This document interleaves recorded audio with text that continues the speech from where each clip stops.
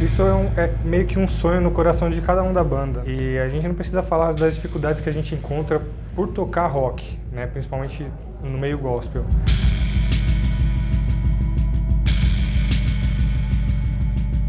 E a gente tem que matar um leão a cada evento, sabe?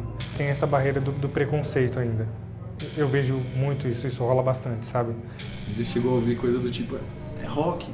Então tem, tem muito mesmo esse preconceito dentro das igrejas. A gente está muito feliz porque esse evento vem justamente para quebrar isso, cara.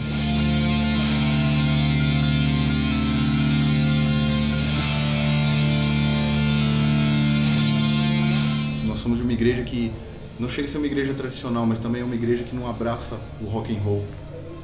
É, então, para nós estar tá participando de um evento voltado para o rock and roll com outras bandas de rock and roll é um momento totalmente diferente. É inédito para nós como banda.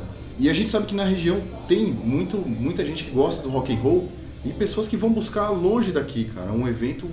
Não, vamos curtir uma balada rock and roll e os caras têm que ir para o centro, têm que ir para outras regiões distantes. Pega a galera do rock cristão aqui da região e fala: ó, agora a gente tem, galera, um povo aqui se reunido e trabalhando para você que gosta de rock aqui. Eu creio que, que esse evento vai abrir muitas portas. A proposta é muito mais ampla do que só hoje.